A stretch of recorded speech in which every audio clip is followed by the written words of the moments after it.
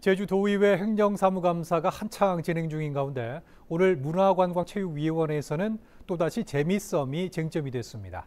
지난 2018년부터 5년째 이어져 오고 있는 사안인데 이전과 달라진 질이나 발언 내용도 없고 이렇다 할 대안 제시도 없어서 감정적인 발목 잡기로 비춰지고 있습니다.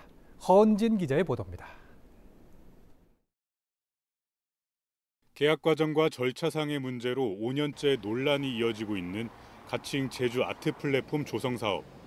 지난 2018년 아트 플랫폼 조성을 위한 3도 이동 재미썸 건물을 매입하는 과정에 이원의 계약금, 20억 원의 위약금, 100억 원이 넘는 매입비 등으로 논란이 시작됐습니다. 결국 당시 도의회 행정사무감사뿐 아니라 제주도 감사위원회와 감사원, 검찰 수사까지 이어졌지만 결정적인 하자는 없던 것으로 판단됐습니다. 이에 따라 사업 담당 기관인 제주문화예술재단은 각종 행정 절차가 마무리된 지난 5월 매입 잔금을 지급하고 재미썸 건물에 대한 소유권 이전 등기를 마쳤습니다. 하지만 재미썸 측은 행정 절차 지연에 따른 19억 9천여만 원의 배상금 청구 소송을 제기하며 또 다른 논란을 낳고 있습니다. 이처럼 수년째 이어지고 있는 재미썸 논란이 제주도의회 행정사무감사에서 또다시 쟁점화됐습니다. 문화관광체육위원회 소속 의원들 대부분이 관련 지적을 이어갔지만 이전과 달라진 내용은 찾기 힘들었습니다. 이렇다 할 대안은 제시하지 못하고 수년째 똑같은 문제 제기만 반복하고 있는 모양새로 비춰지고 있습니다. 어떤 절차적인 정당성이 훼손이 됐다. 그리고 사업이 타당성이 부족하다.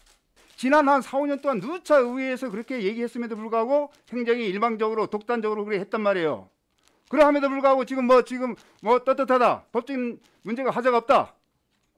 이러니 괜찮다는 겁니까? 대책이 없지 않습니까? 이런 문제가 문제가 많, 많지 않습니까? 도민 세금 5천여만 원 이상 들어가면서 자문을 구해놓고 그거에 따르지도 않고 이렇게 했는데 누구 하나 사과하고 책임지는 사람이 없는데 지금 아트 플랫폼을 이제 한다고 하는데 지금 정상적으로 추진이 되겠습니까? 지금 상황에서? 답변에 나선 구만섭 행정부지사는 계약은 상식이 아닌 법이 우선이라며 민법상 문제가 없다고 입장을 밝히고 반복되는 질문에 다소 불편한 내색을 비추기도 했습니다.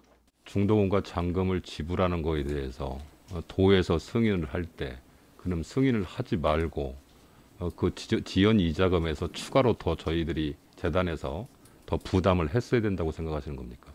하라는 대로 다 재단에서 했고요. 그다음에 감사원에서도 최종적으로 감사를 해서 이런 가운데 정민구 의원은 아트 플랫폼 사업의 원활한 추진을 위해 활용 방안과 관리 주체를 제주도로 이관하자는 주장을 내놓기도 했습니다.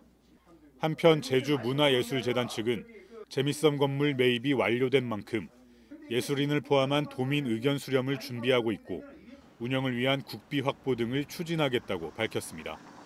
KCTV 뉴스 허은진입니다.